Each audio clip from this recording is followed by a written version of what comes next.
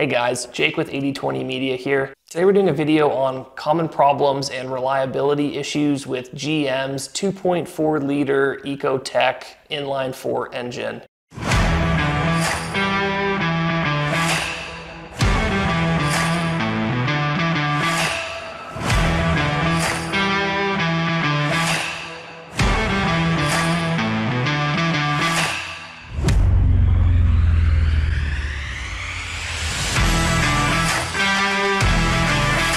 2.4 Ecotec was released in 2006 and used all the way through 2017 across GM's line of vehicles, including Chevy, GMC, Buick, Saturn, and Pontiac, and was used through 2019 in the Polaris Slingshot. The 2.4 Ecotec is a small, naturally aspirated inline four that produces anywhere from 164 to 182 horsepower while it doesn't offer a whole lot in terms of performance, it does offer a lot in terms of fuel economy and gas mileage. Throughout the 11 year span of the 2.4 Ecotec, it went through a number of different revisions and generations. There were six different engine variants that were produced within the lifespan of the 2.4 Ecotec. So we look at the six different engine variations here. There's really two subsets of it. The original engine was the LE5, and then from there they built two different variations of the LE5. One one of them was the LAT, which was essentially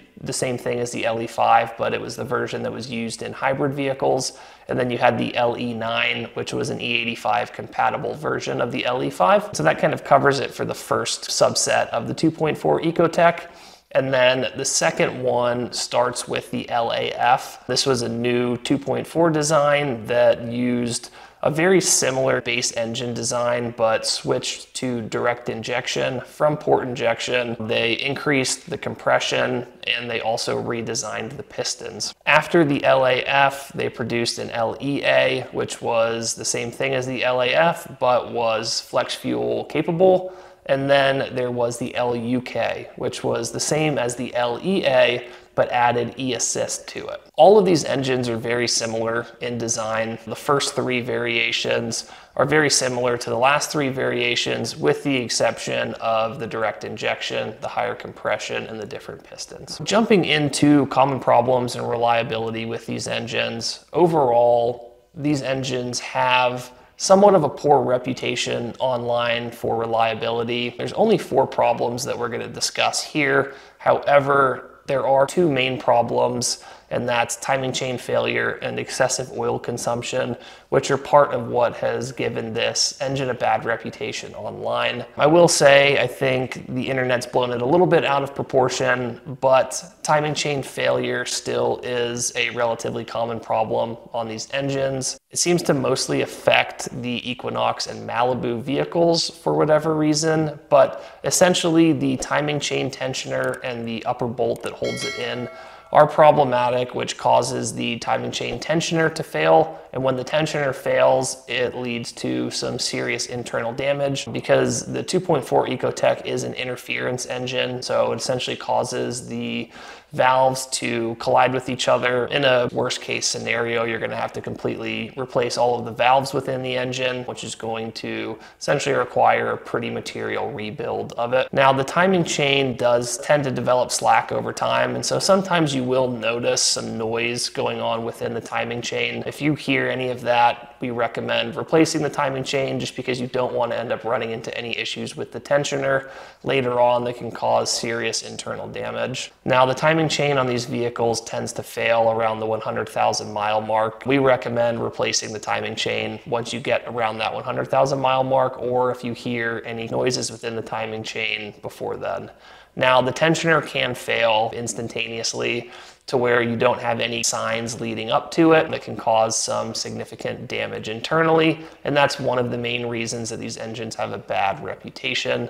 Like I said, I think it's been blown out of proportion a little bit, but it still is a common enough problem for it to give us a little bit of concern with these engines and probably knock it down on our rating scale with respect to reliability. Now, the second problem is with excessive oil consumption. This also tended to affect the Equinox and the Malibu more so than the other engines, and I think is also part of the reason that those vehicles had as many issues with the timing chains as they did. Essentially, there was a poor design with the piston rings and this is mostly for 2010 to 2013 models. But the piston rings had a poor design, which allows a lot of oil to seep past them, and then the oil is burned off within the combustion chamber.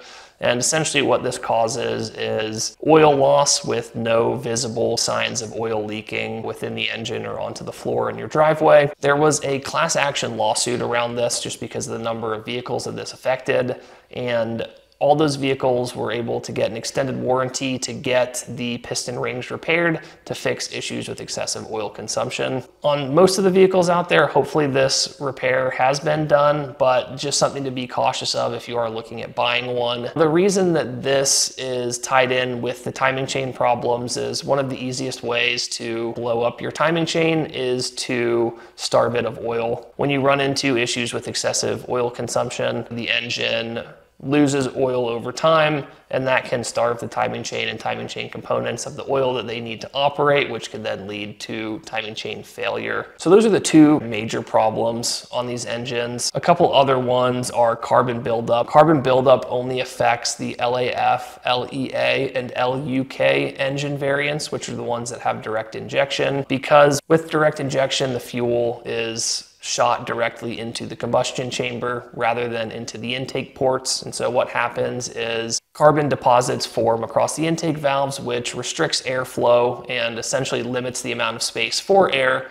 And so it can over time lead to a slow decline in performance. If you have really bad carbon buildup, you might get some misfires and some rough idling.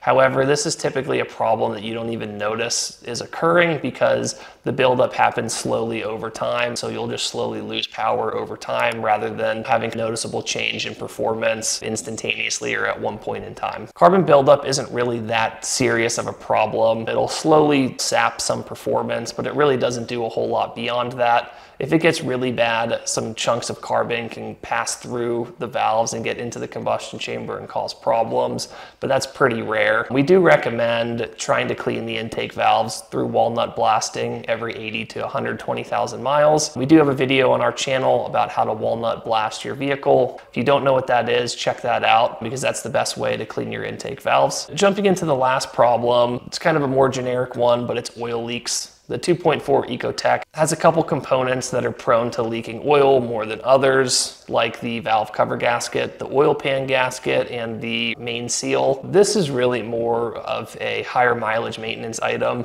You're probably not going to see oil leaks on any sub 100,000 mile cars that have been taken care of. And so this is typically something that occurs in vehicles that are 10 plus years old and sometimes ones that weren't properly taken care of, but also ones that have just been driven a lot and, and have worn down over time. All of these gaskets, the oil pan valve cover and, and main seal are relatively difficult to replace. And so while the gaskets for them are probably 20 or $30, the labor cost to actually replace them is going to be a bit more expensive. Maintenance wise, when you do have an oil leak from one of these spots, it can be a little bit expensive to fix. So that covers it for the common problems on this vehicle. Overall, this engine probably gets a very average grade for reliability. Most of the problems really tend to be seen on the Equinox and Malibus, as well as from 2010 to 2013. But that is not to say that the problem was only with the Equinox and Malibus